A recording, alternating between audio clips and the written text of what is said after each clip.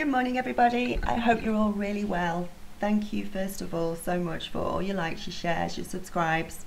I really appreciate it, and it it cheers me up every day. I love it. It's really good.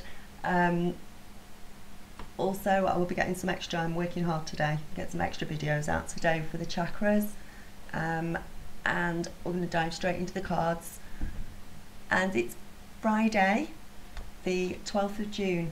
So this is going to cover Friday the 12th of June, Saturday the 13th and Sunday the 14th of June. So these are your weekend cards. So I hope you enjoy them. I hope they help. And let's see what our angels are having to say to us. So we're starting off with caregiver. We are with you and Spirit has its own way of recognising the care and love you provide to others, especially at the end of their lives just as you received care and love at the start of your life. Caregivers often focus all their attention on their loved ones and will often neglect their own concerns and well-being in the process. And there she goes, my darling husky. You have chosen this card in all likelihood because you are probably already have been in a caretaker role or about to start, or you'll have to start caring for somebody that you love. This card is a timely reminder to ensure you don't forget yourself in the process, no matter what type of care is being given, whether it is emotional support or hands-on. It's easy to let all your energy dissipate, leaving you feeling drained, disinter disinterested, or at times feeling down.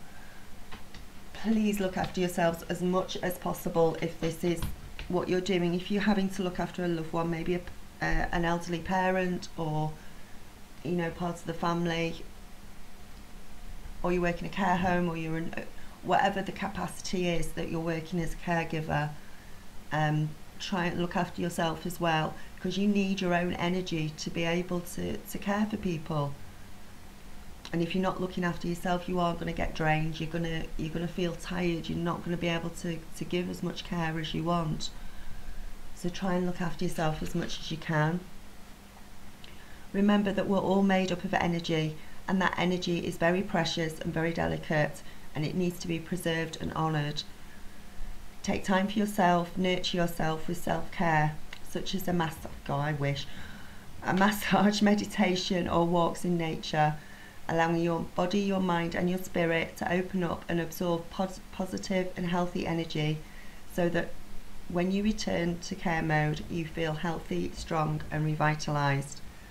So if you can get a massage, congratulations. I'm very jealous. no, get what you can. Do what you can to look after yourselves and get your, your energies back up and stay there because yes, the person that you are caring for is very, very important and you probably care and love them very, very much. You have to love yourself as well.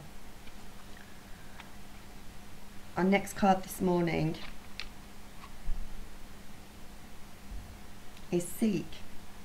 The power of spirit exists in all things. Everything is made up of energy, and every single thing in your physical world contains a fragment of spirit, including you. We are all one with spirit, and we will always be connected to one another. The spirit world is sending you this card because we feel that you may be forgetting that you're a multi-dimensional being. So we want to remind you that you're a spiritual being as well as a physical being remember that you were a, you were a spiritual being first and you're in a physical body. Our physical body is just our, our, our vessel. Now is the time to stop seeing anything on a, everything on a limited physical level and seek out the spiritual in all things. Learn to see from your heart and your soul. Seek out the spiritual beauty in all things as well as in the people around you. If you're having difficulty understanding somebody, try looking beyond what you're seeing in front of you. Layer upon layer of life issues may be disguising the goodness that's inside them, making that person seem mean, resentful or spiteful. Equally, some individuals may appear aloof or distant, which is a form of protective armour, and we've seen this we see it so many times in other people and in relationships and, and you know friends and family we do put up barriers. You know, we do that for our, our own protection. You know, maybe we're, we're, we're interacting with somebody and we feel uncomfortable with them or we feel like they're, they're threatening in some way. And we do, we put up barriers. Um, so just be aware of that over the weekend if you come across people like that. it's not their fault. It's more it's it's their way of looking after themselves sometimes, which can be a destructive way in some ways, but that's how the only way they know how to do it is to be like that or be resentful of others because they've got their own issues to deal with. You may have worked hard, we've worked hard on, on getting rid of our conditioning, our layers, of everything that's been put on us, our, our almost programming over the years, and we, we've, we've gradually got rid of it all and we've cleared it all, but not everybody has. And we can see things differently, but you know, others can't. So,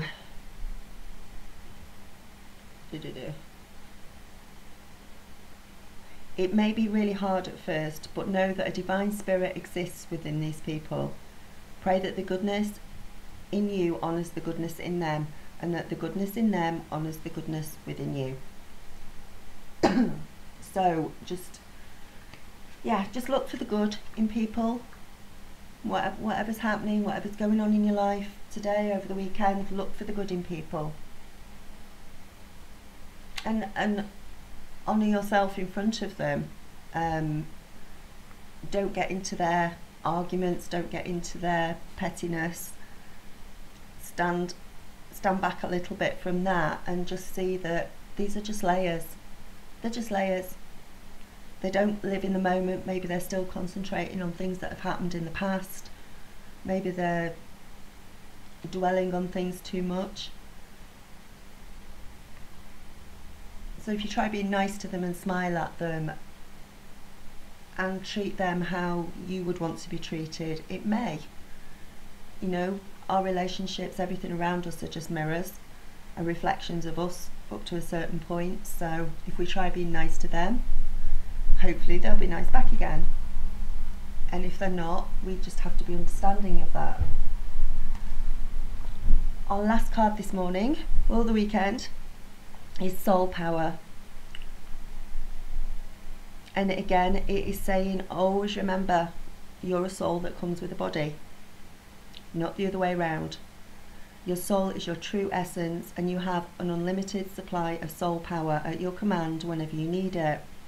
You drew this card to be reminded of how powerful you are as a soul. Your outside physical world right now might be hectic, and you might be pulling away from what your soul is trying to help you with. The answers you seek may not be forthcoming from the outside world, but wise wisdom and guidance can be found within you. We know that as soon as you ask a question, pretty much we already know the answer. Because it's already inside us, that's why we're asking the question. We just have to go within and look for it. Your soul will often try and get your attention through your dreams or little synchronistic intuitive nudges. When you feel these, close your eyes, breathe calmly and deeply, and ask your soul for guidance with any situation you're experiencing at the moment. You may see a picture or a symbol, or you may experience a feeling or hear something or a whisper. Trust in what you receive.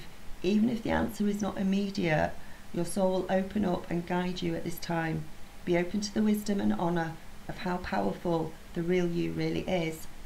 So all these little nudges and everything, it's like you might get a concept of a picture, you may hear a scrap of information, you may hear something in a conversation, and it will be a step towards finding that answer and looking for it. So just be open to listening, and you won't get, you may not get the answer all in one go. Unfortunately, we're not going to have an angel fly down, stand in front of us and say, right, this is your answer you're looking for. They do it in different ways. They do it in signs and symbols.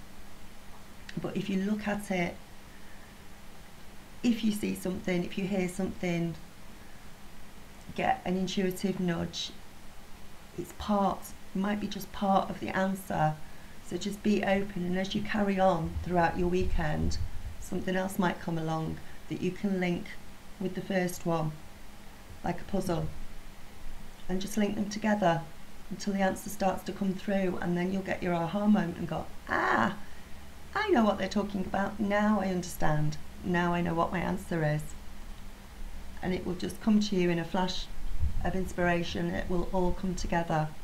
You have to be open to it. So those are your cards for the weekend.